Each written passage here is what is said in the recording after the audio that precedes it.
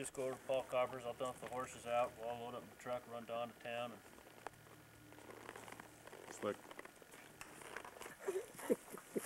He ran me into a couple, I swear.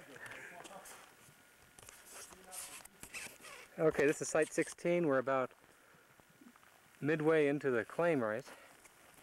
Would you say that's true? I'd say we're about midway. Yeah. And uh,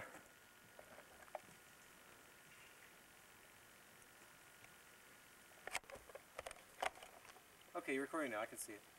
Uh, this is the uh, the middle of the Colorado Gulch placer, and we've just taken test site 16. And uh, big over overburden of trees here.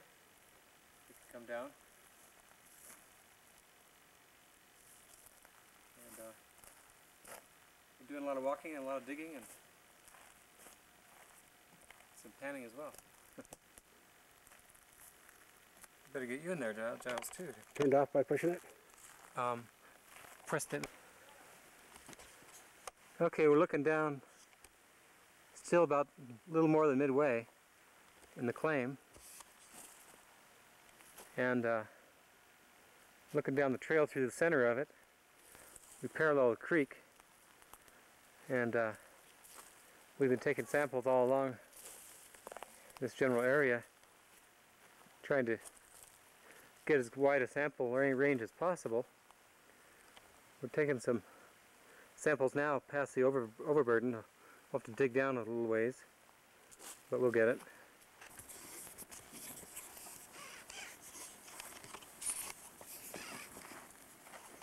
Okay, this is site number 18.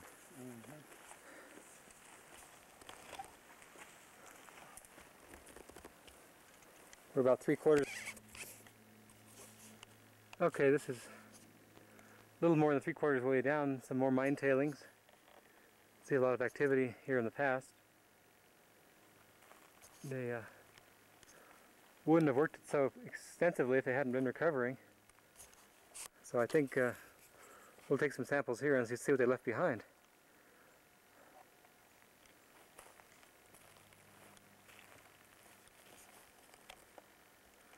Let's see, this direction is north toward the Colorado Trail. The Colorado Gulch is that direction. And the way we're, we're heading is about due south that direction. You throw that to the old secretary. No, no, no. Is my desk. Thank you. that Very, very kind of you, Appreciate it. Handmade uh, uh, spike? Is that it? Uh, that or a wedge.